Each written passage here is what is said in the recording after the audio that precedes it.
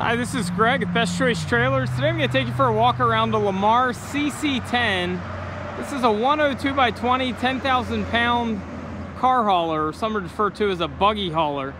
It's got a few optional features on it. We'll take you around and show you those as we walk around the trailer. Let's start out up front.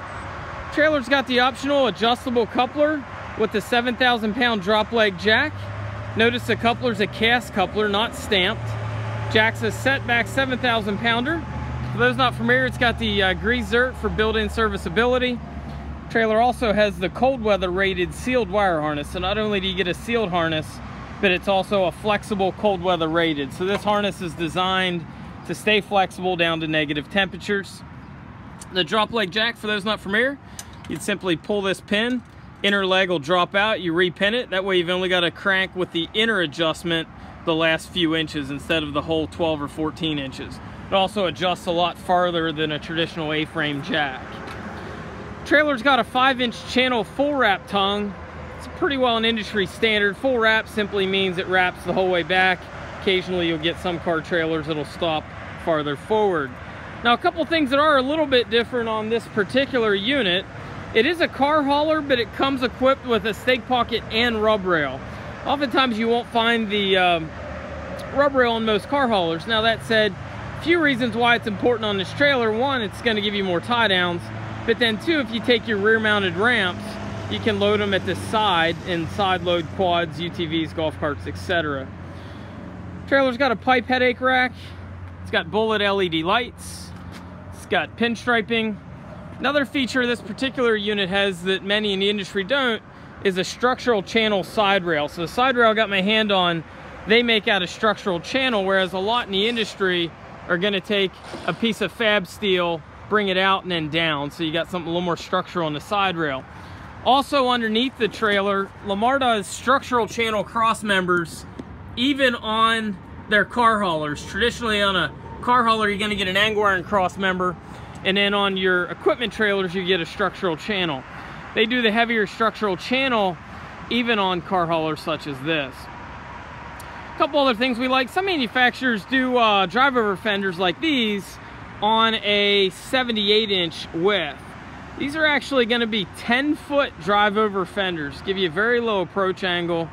Uh, they're well reinforced rather than just one center brace like some we've seen. These have braces at either end they're also boxed out. Your wiring's all protected, gives extra strength. Very slick design. Radial tires are standard. Of course, on a six lug, be a 5,200 pound axle. You're gonna have the full size 12 inch brakes. Brakes on both axles. The newer style Nev-R-Adjust brakes by Dexter, or because it's got Dexter axles.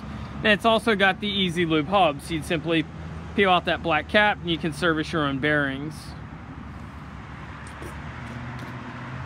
So moving on back the trailer, you got additional tie down points with your stake pockets and rub rail. Now again, another thing you wouldn't often see would be a uh, gusset on the beaver tail. a lot of manufacturers, even up to and including 14,000 pound GVWs, don't put that gusset plate on. They do here even on a 10K trailer. Occasionally, sometimes you also see them on a 14K trailer if it's got a four foot beaver tail. This one here we equipped with a two foot beaver tail again making it pretty rare to see that uh, gusset there. So the trailer does have all LED lights. A couple other things that uh, you wouldn't always see would be that extra side marker. You're only required to have a stop turn tail at the rear uh, and then your three center markers. Uh, but they do it anyway. Trailer also is not required to have reflector tape but you'll notice on this trailer uh, they've got reflector tape on the side and then all the way across the back Trailer also has side mount ramps, I'm sorry, rear load, rear load ramps instead of side mount ramps.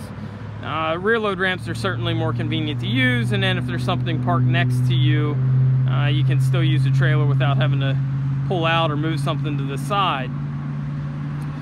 So again, we do these with a two foot beaver tail, five foot slide out ramps. It's got a two by eight treated wood floor so this being a 20 footer, it's got 18 foot of flat, two foot of beaver tail. trailer like this is gonna weigh in in the mid twos. You're gonna be about 27, give or take 100 pounds. It's gonna give you a net legal payload of about 7,700. Trailer like this can be used for all kinds of things from hauling a full-size pickup truck. Some guys use them to haul rock crawlers. Uh, some guys use them to side load quads.